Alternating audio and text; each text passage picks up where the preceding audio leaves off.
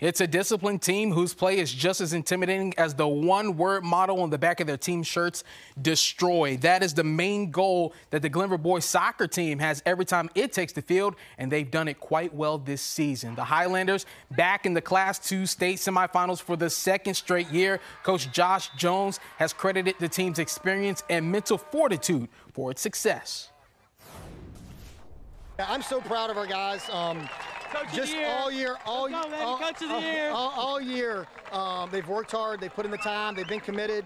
And I mean, we're 19-0-1 right now. We got you know um, another game Friday coming up. But I'm just so proud of um, the execution that they've um, really just uh, em- embraced this year. Well, you know, we had a lot of returning players, but our freshman class has been great for us.